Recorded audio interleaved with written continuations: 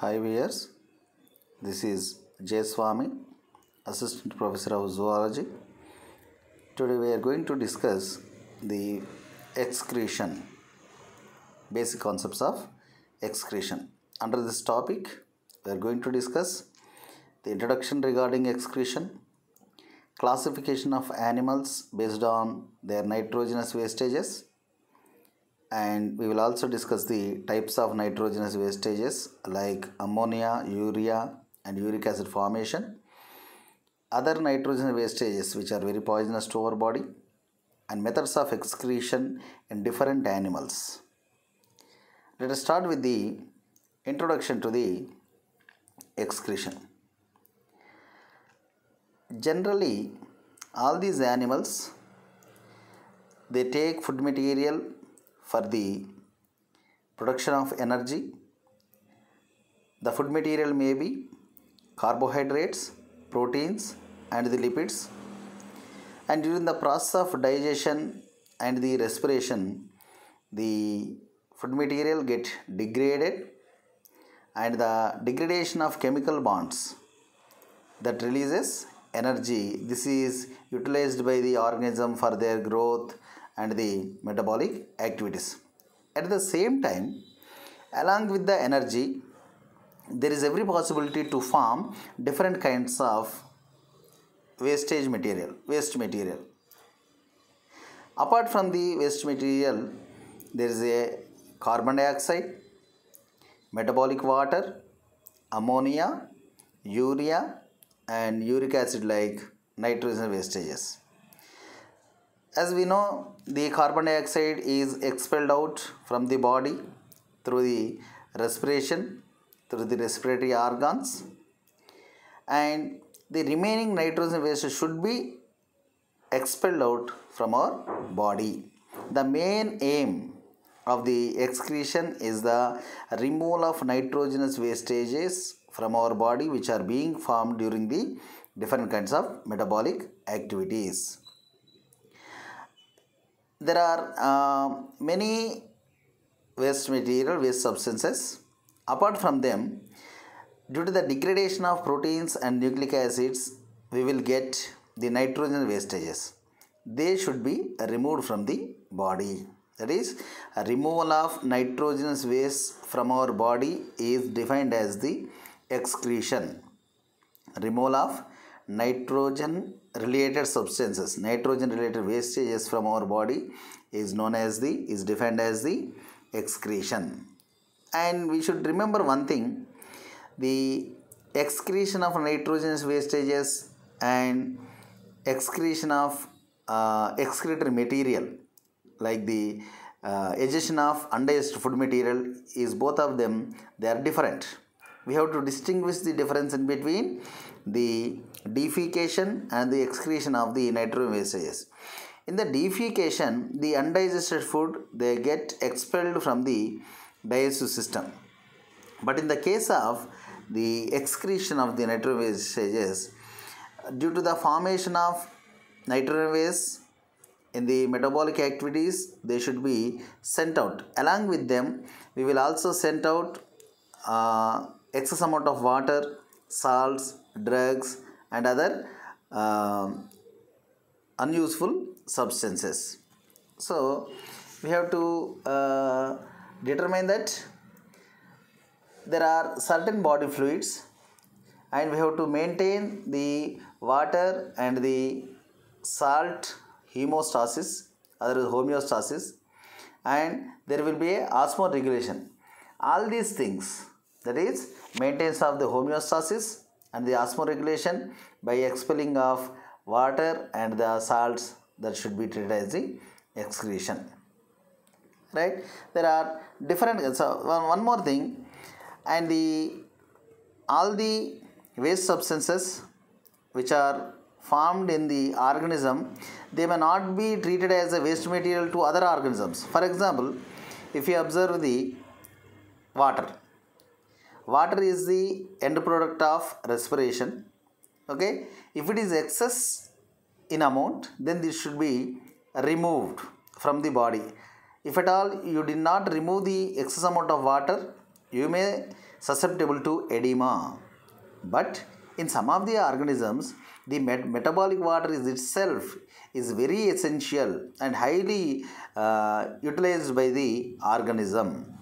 And if you take into consideration the carbon dioxide, carbon dioxide is also an end product of the metabolic activities. It may be expelled out through the respiration, but the same carbon dioxide is utilized in some anabolic activities or synthetic active synthesis activities that we may not determine the uh, nature of we may not determine the excreted material based upon their chemical nature is very difficult right? So this is all the introduction related to the excretion. And coming to the classification of animals based upon their uh, nitrogenous wastages. The entire animals they are degraded into divided into three groups based upon their excretory product ammonotelic organisms they excrete ammonia and ureotelic organisms. They excrete urea. Uricotelic organisms they excrete uric acid. Uric acid. Based upon the type of excretory product they excrete out the animals get divided into three major groups. Ammonotelic organisms excrete ammonia ureotelic organisms excretes urea and uricotelic organisms they excrete uric acid. Let us see uh, what about the ammonotelic organisms ureotelic and the uricotelic organisms in detail? First the ammonotelic organisms ammonotelic organisms that is wherever you go the all the organisms whether ammoni ammonotelic ureotelic or uricotelic the main compound which is formed from the nitrogen waste is the ammonia. Some of the animals they excrete ammonia as easily and some of them they get converted the ammonia and urea and some of them they get converted ammonia into uric acid.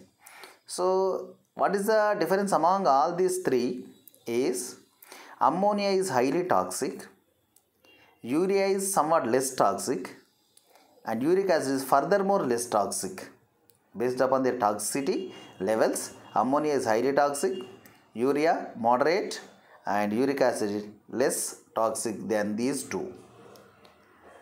And those animals which live in the aquatic environment they tend to release ammonia. They tend to excrete ammonia. So release or excretion of ammonia is known as ammonotelism.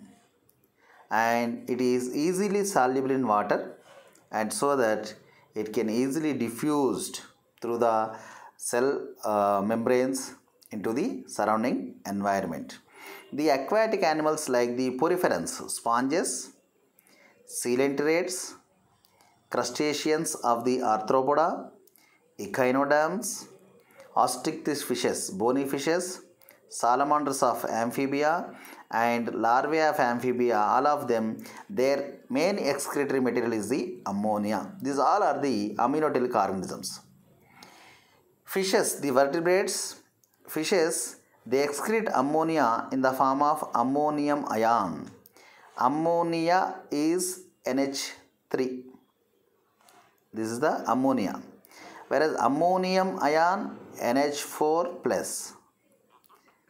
That is, fishes excrete ammonia but in ammonium ion form. In all the animals, the free ammonium, otherwise the free ammonia that get combines with the glutamate and forms the glutamine. Why they should be formed into glutamine and they will, they will be transferred from uh, tissues to the excretory organs. Okay, for example, if there is a ammonia in the tissue, okay, that is interact with the glutamate and convert into glutamine. This glutamine is the non-poisonous state of ammonia. Generally, ammonia is highly toxic, but the glutamine form of ammonia is non-toxic form, non-poisonous form.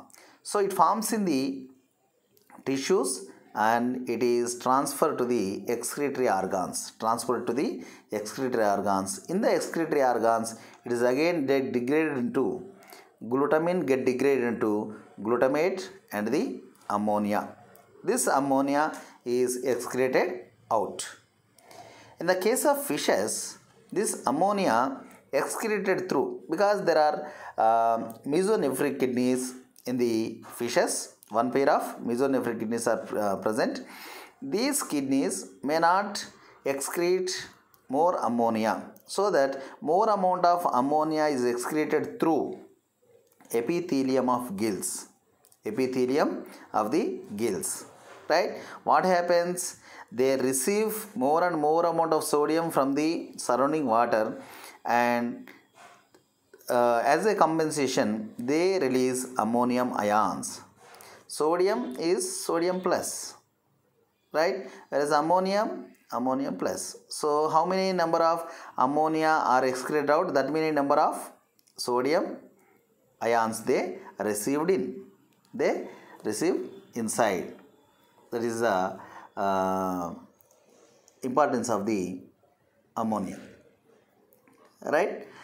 Then uh, is highly diffusible? As we already discussed all the bony fishes uh, larvae of the amphibia and aquatic uh, insects they uh, excrete ammonia into the surrounding water through the diffusion process by using little amount of energy this is all about the uh, ammonotelic organisms. Coming to the ureotelic animals, those animals which excrete urea as their main excretory product.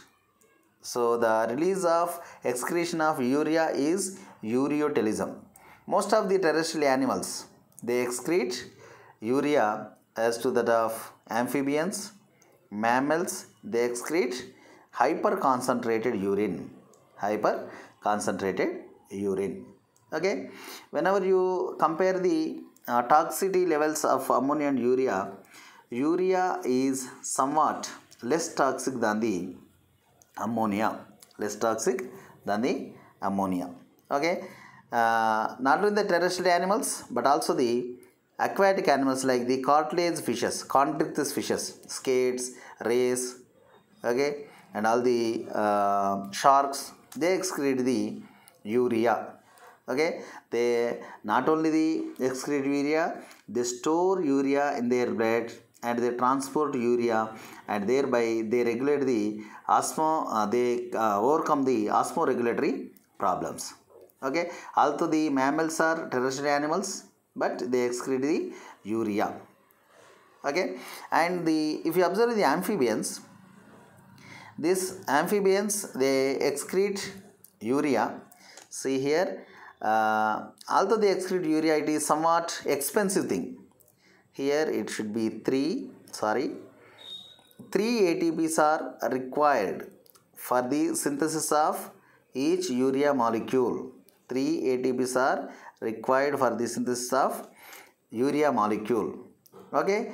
So some of them they are unable to uh, spend that much amount of energy in the synthesis of the urea.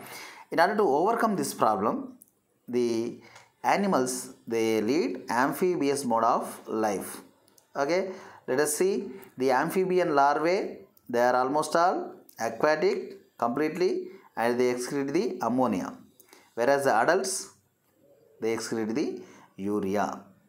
So that is so some portion of their life life cycle they excrete ammonia in order to overcome the spending of ATPs in the synthesis of urea. Okay? And the synthesis of urea takes place in the liver. If you observe the xenopus the clawed toad of the amphibia that excretes the ammonia because always it lives in the water. Okay? If you observe the protopterus that is a blind salamander okay? Whenever it is uh, moving actively in the water that excretes ammonia. But whenever it undergoes aestivation then the time they excrete urea. As usually the earthworms of the annelida they excrete the urea.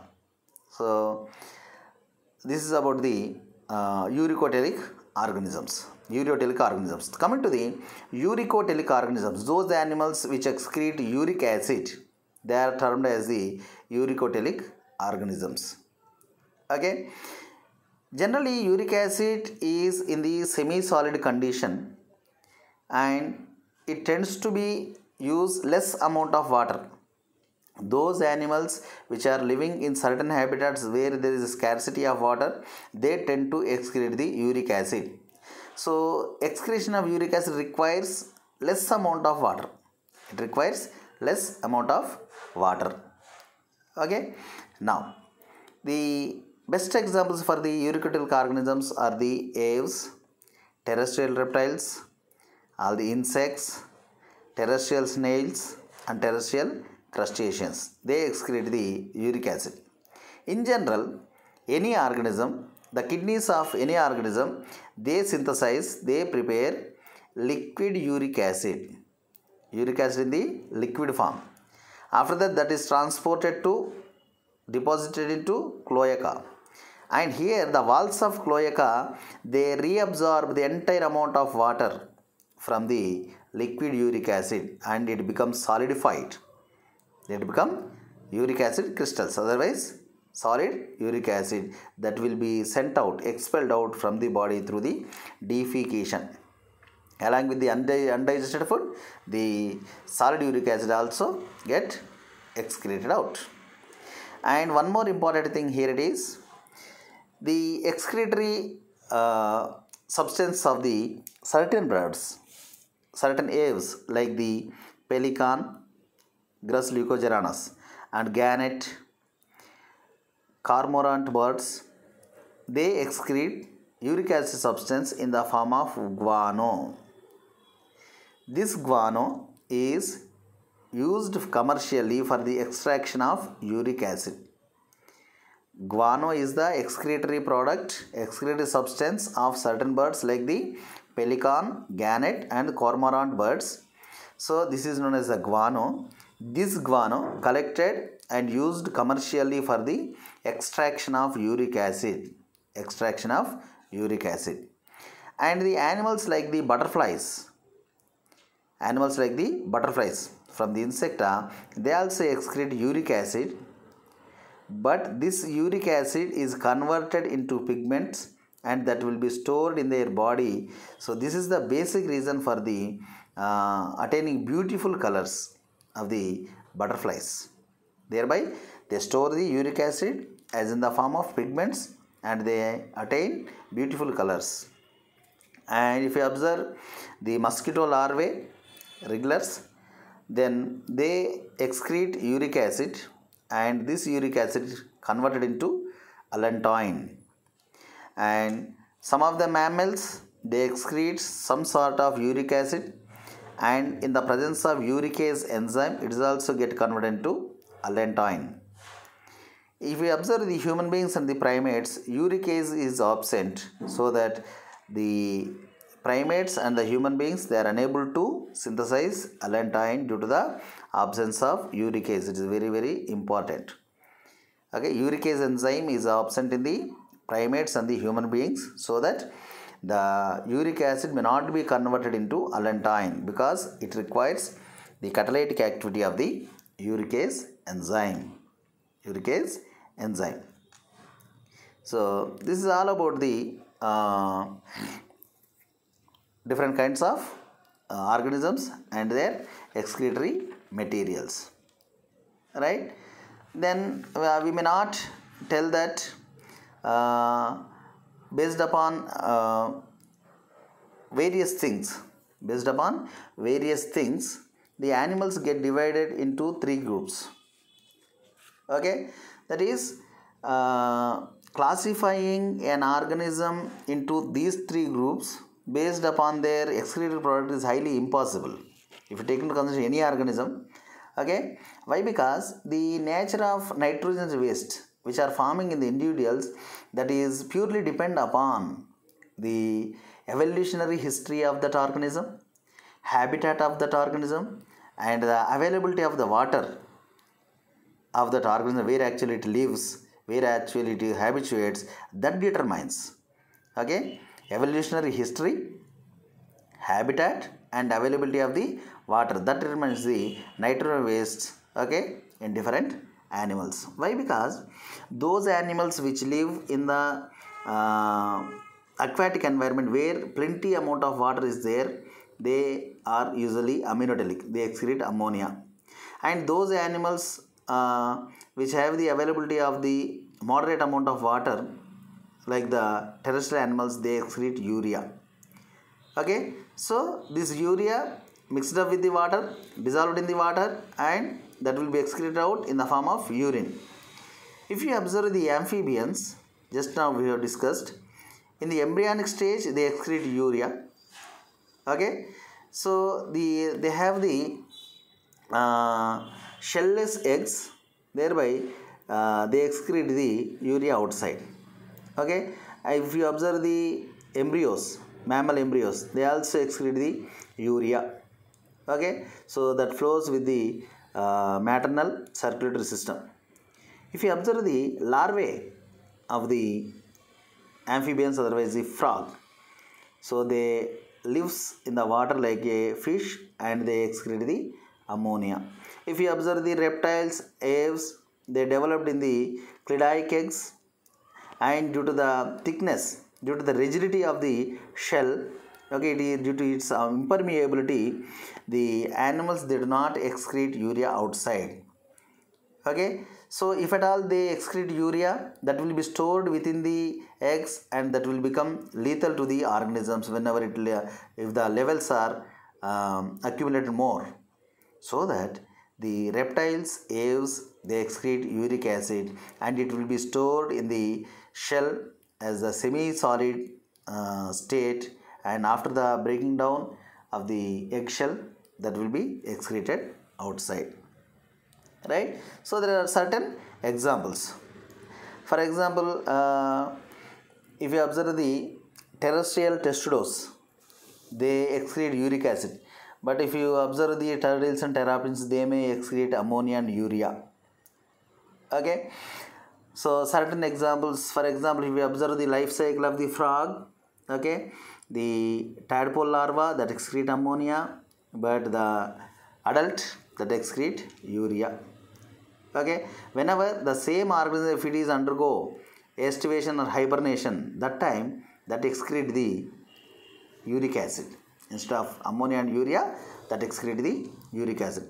If you observe the salamanders if you keep them in the water they excrete ammonia. If you leave them in the terrestrial environment that excrete urea. So based upon their adjustment and the availability of the water they excrete different kinds of uh, nitrogenous wastages. Then coming to the different kinds of uh, wastages okay the major role played by the ammonia urea and the uric acid. Ammonia urea and the uric acid. Okay see one by one. First the ammonia the ammonia.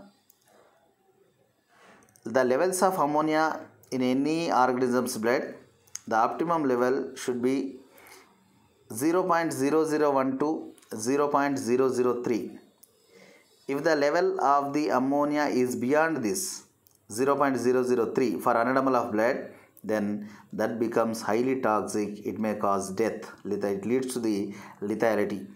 It leads to the lethality okay? So that is whenever the concentration of ammonia in the blood 100 100 ml of blood if it is more than 0.003 then that should be excreted out. Otherwise that may lead to the death of the individual. Death of the individual. Okay? Uh, some of the times what happens urea may be get converted sorry urea may be get converted into ammonia by an enzyme which is known as the urease. Sumner was the scientist. Sumner was a scientist who proved experimentally the conversion of urea into ammonia by urease enzyme. What he did is he has taken a rabbit and injected the urease enzyme into the rabbit and thereby the excretory material of rabbit is urea as it is a mammal it excretes urea. Okay? So this urea get converted into ammonia by the given injection other by, by the administered enzyme urease and due to the accumulation of ammonia within the blood of the rabbit it undergo death. It leads to the death of the individual. That is the ammonium levels ammonium concentration of the organism that should not exceed 0.003 for 100 ml of blood. Okay? Let us see the formation of ammonia. Ammonia formation takes place in two steps. One is the uh, transamination where there is a transfer of ammonia group from one amino acid to the another keto acid so this reaction is mediated by the enzymes which are called as the transaminases or aminotransferases transaminases or aminotransferases okay? Then the second term is deamination. Second process it may be the oxidative deamination or non-oxidative deamination. Deamination deletion removal of amino group from one amino acid so this released amino otherwise amino group otherwise ammonia that will be uh, excreted out. If you observe the fishes the ammonia is excreted through the epithelium of the gills. So already we discussed that how much amount of uh, ammonia is excreted out that much amount of sodium will be received in. Let us see the transamination and deamination process. See here uh, here there is a amino group of one amino acid okay? It is transferred to one keto acid. Whenever they fuse together this amino group transfer to this keto group okay? So here there is a transamination. So there is a translocation or transfer of amino group from one amino acid to the another one. So the enzymes are transaminase otherwise amino transferase see here there is a alanine it is amino acid which contain amino group. Okay here it is a alpha keto glutarate alpha keto glutarate so the amino group from the alanine it is transferred to the alpha keto glutarate and thereby it becomes glutamate. It becomes glutamate and the another thing that modified into pyruvate. That modified into pyruvate. So here there is a transfer of amino group from alanine to the alpha ketoglutarate takes place. That results in the formation of glutamate. It is nothing but the transamination reaction. And here if you observe the deamination here we see the amino group in the glutamate. This undergo removal of ammonia removal of ammonia. Ammonia is removed from the glutamate. Ammonia is relieved from the glutamate under the presence of glutamate dehydrogenase enzyme. Okay? So the NAD get reduced into NADH2 due to the dehydrogenase and oxoglutarate is being formed. So the release of ammonia from amino acids takes place by two ways two steps transamination and the deamination. Both of them they tend to form the release of ammonia from the amino acids. Ammonia from the amino acid is highly toxic. When compared to the urea and uric acid the ammonia is highly toxic we should remember. Okay. Then coming to the urea. So in all the terrestrial animals urea is the fundamental excretory material. So this urea is being formed from the addition of carbon dioxide and as well as the ammonia. Right? So it is less toxic than the uh, ammonia. When compared to the ammonia it is less toxic. Urea is less toxic. And it requires less amount of water. It requires less amount of water for the excretion of the urea. And the accepted levels are 15 to 38 mg of urea is accepted per 100 ml of blood. It is 0.015 percent to 0.038 percentage if beyond this it is somewhat toxic. It is somewhat toxic. Okay? Then if you see what is the urea is one carbon dioxide get interact with the two ammonium two amino groups. This is nothing but the urea. That is ammonia is excreted out in addition with the carbon dioxide. So the carbon dioxide fuses with the two ammonia molecules that tend to form the urea. This takes place in the uh, urea cycle otherwise ornithine cycle. It takes place in the liver. It takes place in the liver. Okay now. This urea cycle or uh, ornithine cycle it is for the first time explained by the Hans Krebs and the Kurt Henseleit so that on behalf of their names it is known as the Krebs Henseleit cycle. Krebs Henseleit cycle. Okay? And afterwards it is uh, stepwise. The entire steps which are taking place in the Krebs cycle are clearly explained. Clearly explained by two scientists Sarah Ratner Sarah Ratner and the Philip Cohen. Sarah Ratner and Philip Cohen they uh, clearly described the uh, urea cycle. The entire uh, equation which represents ammonium bicarbonate plus aspartate 3 ATPs plus H2O gives us the formation of urea fumarate 2 ADP 2 inorganic phosphates 1 pyrophosphate 1 adenosine monophosphate and 2 protons 2 protons.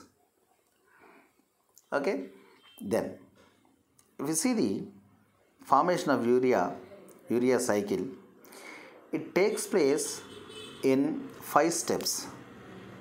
Urea cycle takes place in five steps. Okay? The uh, stepwise uh, sequence is in the first step what happens? Synthesis of carbamylophosphate takes place. It requires two atps you should remember okay. And second step is formation of citrulline. Third step is synthesis of arginosuccinate. Fourth step is degradation of arginosuccinate into fumarate and arginine. And finally from the arginine there is there will be enzyme which is known as arginase that forms the urea. So at the formation of the arginosuccinate again we require one ATP so total 3 ATPs 2 ATPs, uh, ATPs at the formation of carbamyl phosphate and 1 ATP at the formation of arginosuccinate. Okay? What is happening? We will see. See here this is the first step. Here the waste nitrogen or ammonia they fused with CO2 or bicarbonates. Okay? Under the catalytic activity of carbamyl phosphate synthase. Carbamyl phosphate synthase that fuses the ammonia with the carbon dioxide and forms the carbamyl phosphate. It requires 2 ATPs it requires 2 ATPs this carbamyl phosphate added to the ornithine added to the ornithine under the catalytic activity of the ornithine carbamyl transferase. Ornithine carbamyl transferase. So under the catalytic activity of the ornithine carbamyl transferase carbamyl phosphate and the ornithine they fuse to form citrulline. They fuse to form citrulline. Okay? This citrulline get added with the aspartate aspartic acid under the catalytic activity of the arginosuccinate synthase that leads to the formation of arginosuccinic acid arginosuccinate. Here we require 1 ATP so previously 2 ATPs here and 1 ATP here. Totally we require 3 ATPs for the synthesis of one urea molecule. Now this argan argino arginosuccinate get uh, degraded into. There is a lyase activity argininosuccinate lyase that degrades the argininosuccinate into fumarate and the arginine. Fumarate and the arginine.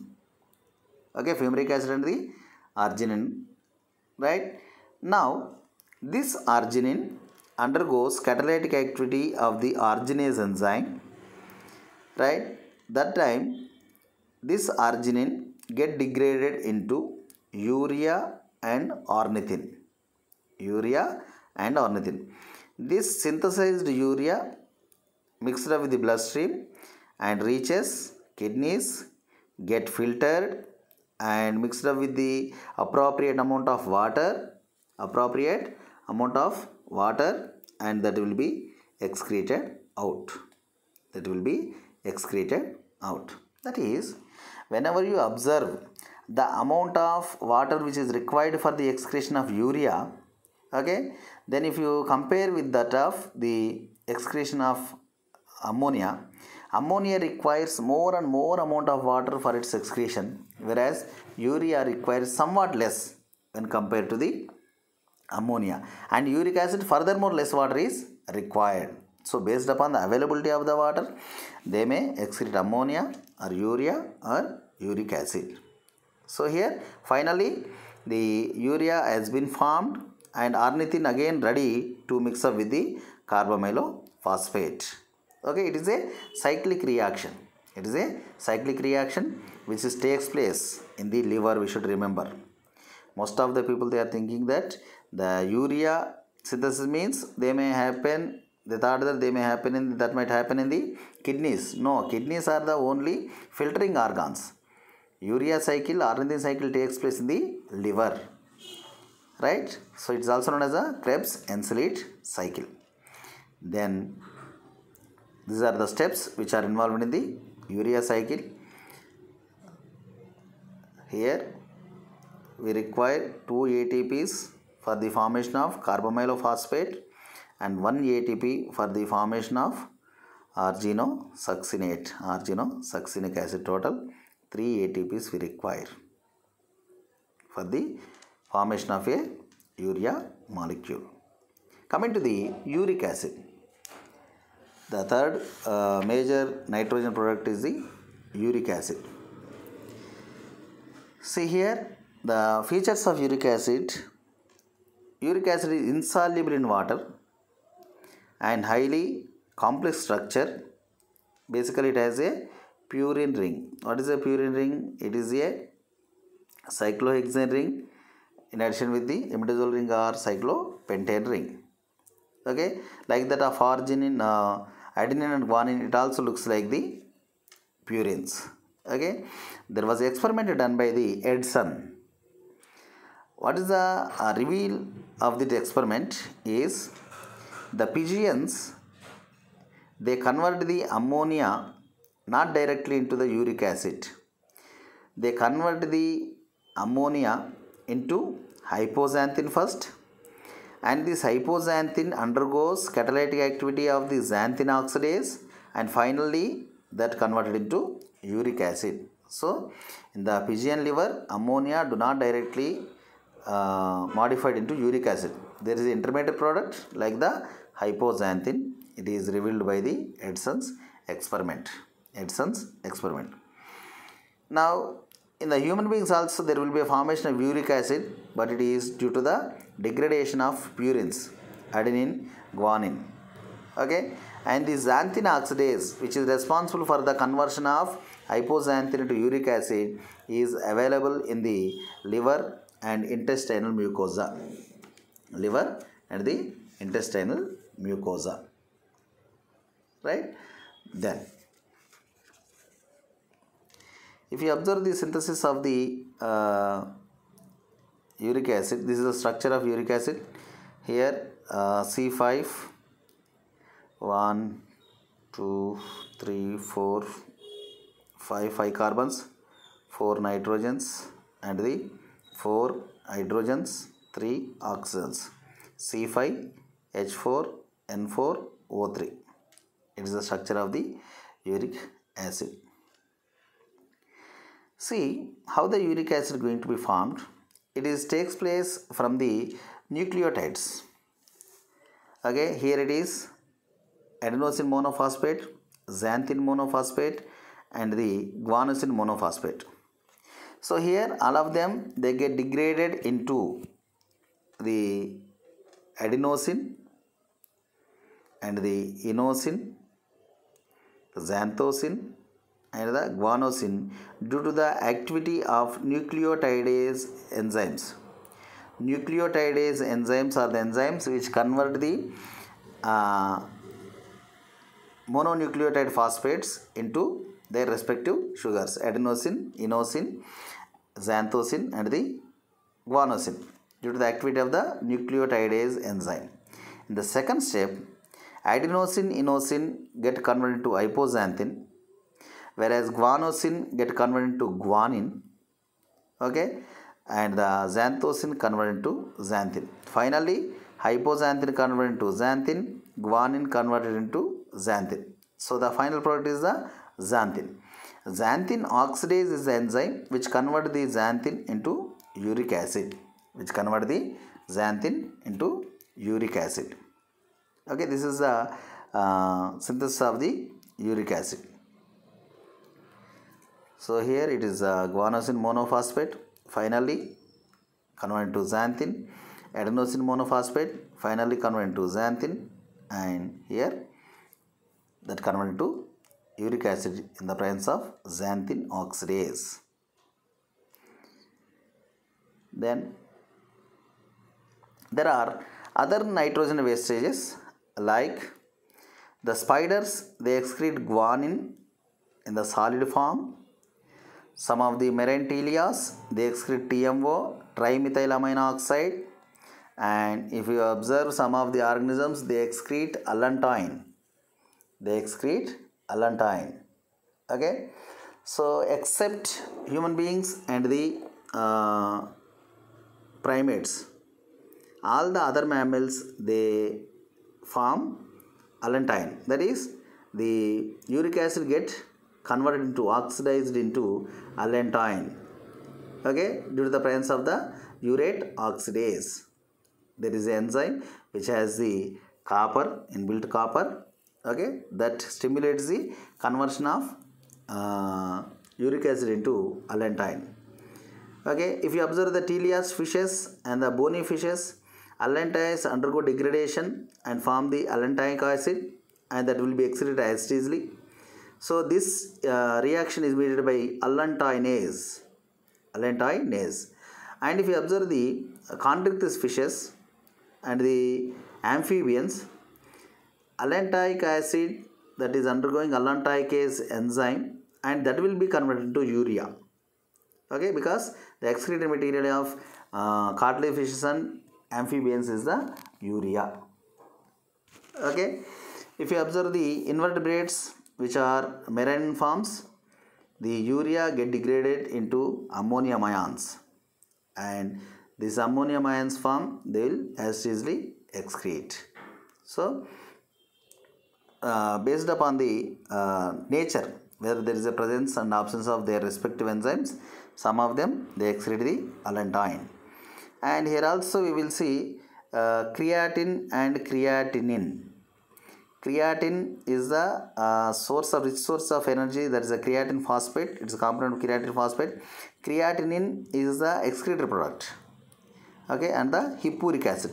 If you see the difference in between uh, creatine and the creatinine this is the single chain is the creatine. Okay and the aromatic compound is the creatinine then uh, if you observe the uh, certain uh, specialties of the uric acid as we know the uh, gout disorder. What happens the gout disorder is if there is a enhancement in the uric acid level in the body fluids that leads to the gout disease, gout disease so in this disease what happens? These uric acid get converted into sodium urate crystals and which are insoluble in water and they will be stored in the joints. Due to this uh, formation of the sodium urate crystals okay there will be a swelling within the uh, joints and there will be burning pain okay and severe pain is there. And some of the times the same sodium urate crystals they may be stored in the kidneys okay these are the kidney stones. They uh, not only damage the kidneys but also they interrupt the the flow of the primary urine within the nephrons. Okay it is uh, predominantly seen gout disease is predominantly seen in the males. Okay there are 3 person may get affected per 1000 people.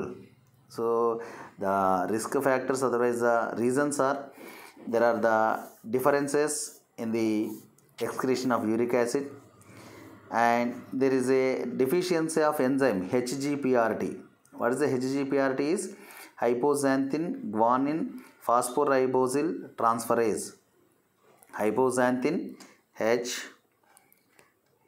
hgprt hypoxanthine guanosine or guanine phosphoribosyl transferase hypoxanthine guanine phosphoribosyl transferase. Due to the deficiency of this hgprt uh, thereby there will be accumulation of formation of more uric acid. Okay? Some of the times the uh, poisoning of the kidneys with the lead poisoning so thereby there will be decrease in the excretion of uric acid. For the uh, treatment of the gout disease, gout disease we will use allopurinol. Allopurinol. What is the allopurinol is it looks like structurally similar to the hypoxanthine okay? Then thereby it reduces the activity of the xanthine oxidase enzyme and thereby there will be decrease in the uric acid productivity. So this is the extra information regarding the uric acid okay? Then if we come to the methods of excretion in different animals it is very very important in competitive exam point of view because if you observe the protozoans in the protozoans only we have uh, contractile vacuoles which meant for the excretion and as well as the osmoregulation. Okay? Protozoans poriferans and the coelenterate all of them the excretory materials diffused from the body surfaces into the aquatic medium. Body surface into the aquatic medium. And coming to the platyhelminthes they have specialized cells for the excretion which are known as the flame cells. Flame cells are the excretory organs of platyhelminthes and you come to the nematohelminthes they have renette cells renette cells are the excretory organs. And come to the annelida they have specialized organs which are called as the nephridia for the excretion. And also we see chlorogogen cells. We also see chlorogogen cells. The role of chlorogogen cells in uh, excretion uh, still it is ambiguous. So the annelida nephridia and if you come to the arthropoda malpighian tubules malpighian tubules are the main excretory organs. Apart from that if you observe the uh, some of the insects there are urate cells. And if you observe the crustaceans there are coxal glands antennary glands, green glands. These all are the excretory organs of the um, crustaceans. Okay, come to the mollusca.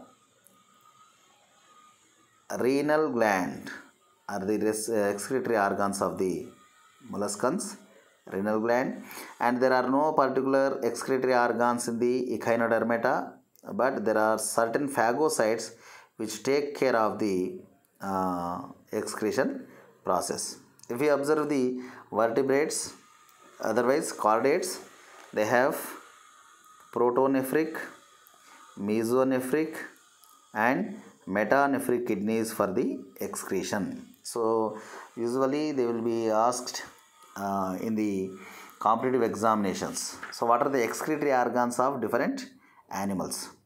Different animals. Okay? This is all about the introduction to the excretion. Thank you. Thank you one and all